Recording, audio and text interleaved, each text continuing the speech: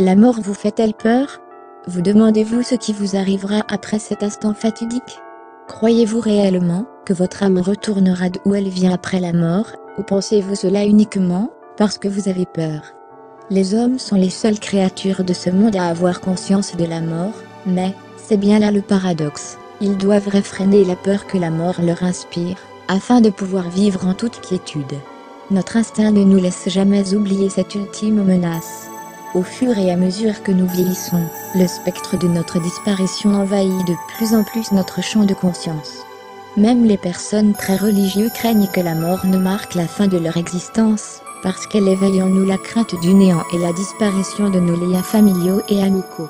En fait, tous les buts que nous poursuivons sur Terre, semblent bien futiles face à cet instant fatidique. Si la mort constituait la fin de tout, la vie serait dénuée de sens. Cependant, une force intérieure permet aux hommes de concevoir un au-delà, et de se sentir reliés à un pouvoir supérieur et même à une âme immortelle. Mais alors, si nous avons une âme, qu'advient-il d'elle après la mort? Existe-t-il vraiment au-delà de notre univers physique, un paradis rempli d'esprits intelligents? Et à quoi ressemble-t-il? Qui faisons-nous? Existe-t-il un être suprême responsable de ce lieu? Pour la plupart d'entre nous, ces questions, aussi anciennes que l'humanité elle-même, n'ont pas trouvé de réponse satisfaisante.